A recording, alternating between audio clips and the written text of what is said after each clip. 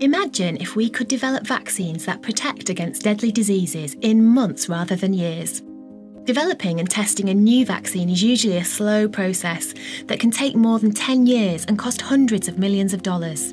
But scientists can now speed up this process and save money using human infection studies, which can much more quickly show how effective vaccines are at protecting against disease.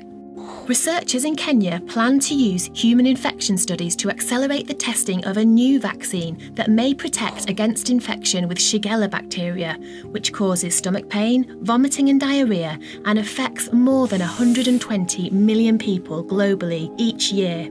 For young children whose immune systems are not so robust, it can be quite severe and can cause death. So, when you think about the scale of the problem, then really it's the fourth leading cause of death in children under five across the world. New vaccines are being developed to prevent the illness. Scientists at the KEMRI Wellcome Trust Research Programme in Kenya have already shown that one is safe to use in people.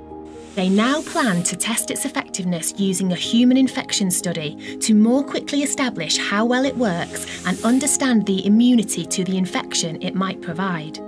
A vaccine dose is given to volunteers, but rather than wait for them to acquire the disease in the outside world, researchers also infect the volunteers with a precise dose of Shigella bacteria in a controlled and safe environment we're going to set that up here in Kilifi um, within the next year and a half.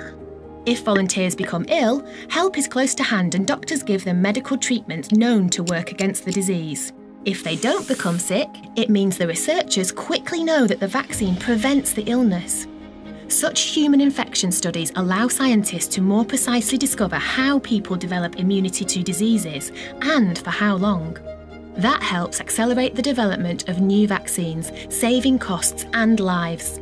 It's a big step ahead. We can use it as a way of prioritising which vaccines work best. Innovations like this will help us save more lives. Let's get behind the future of vaccines.